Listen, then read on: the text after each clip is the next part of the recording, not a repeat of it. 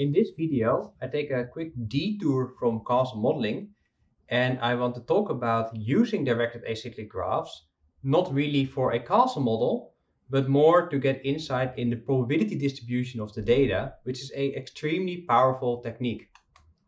So in statistics, in multivariate statistics, a very common problem is that we need to have a joint likelihood function of all the data. So that is a uh, function, a program, if you will, that you put in data and then you get how likely was it that the data occurred under a certain parameter. And then we use that function to estimate our parameters um, so that we get parameters, for example, under which the data was most likely. And we need to have a mathematical expression for this uh, joint likelihood. And joint here refers to multiple variables, so multivariate statistics, which is what we do because we have multiple variables in all our networks. So that is usually written like probability of A, B, C, D, uh, any type of variables taking any kind of values. Now this can be a very hard function. For example, in the Ising model, this function is um, not that hard to write down, but it's very hard to compute because we need to take a sum over all possible outcomes of all possible variables, which with more than 20 or 30 variables will take longer than the time in the universe to compute. Using DAGs will make uh, expressing joint likelihoods in many cases, not in the Ising model unfortunately, but in many cases, much more simple. And this is an extremely powerful technique that is used a lot in statistics and that you might also encounter sometimes. So how's that done? First, let's talk about how do you define a uh, joint probability distribution, like for example here for five variables. One way to do that is with uh, this expression.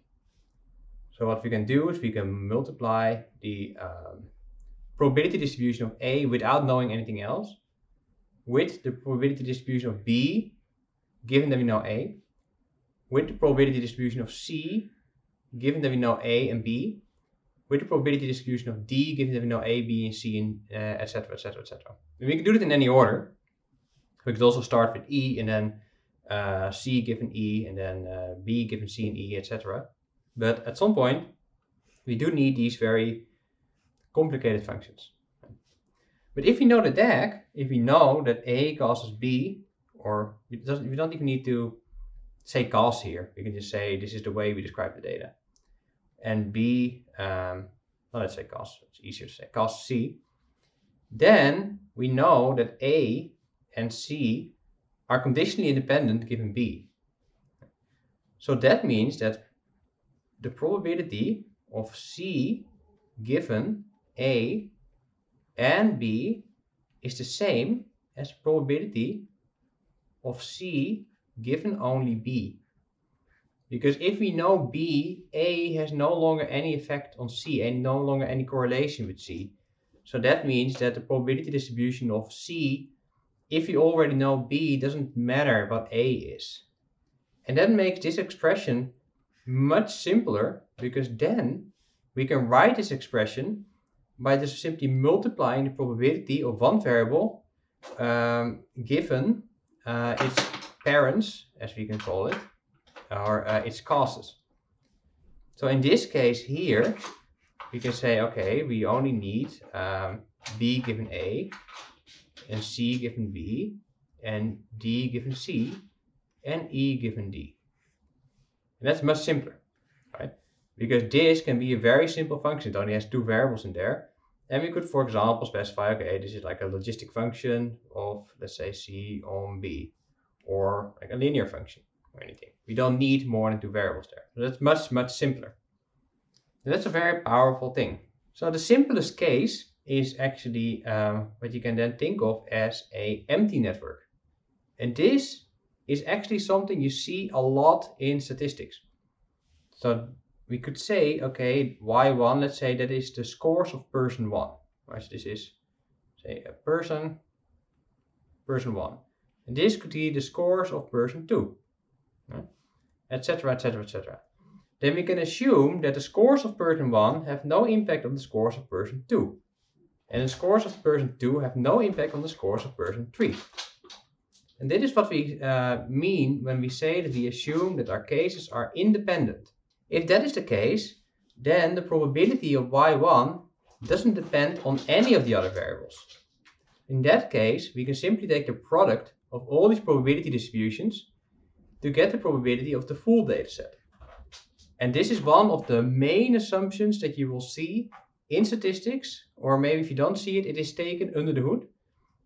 Almost every statistical estimation procedure used in psychology relies on this assumption. Um, and you can think of it as a, as a DAG, which is, is nice. Now, a setting in which we cannot assume this independence of cases is when the data is not of people, but rather of uh, points in time. For example, uh, this could be scores of the same person, but measured at like 9 o'clock, 12 o'clock, 5, 3 o'clock, etc.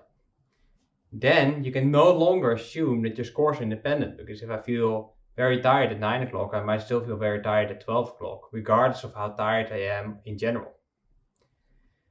So uh, we need a full joint likelihood distribution of all responses to actually get some parameters out of there.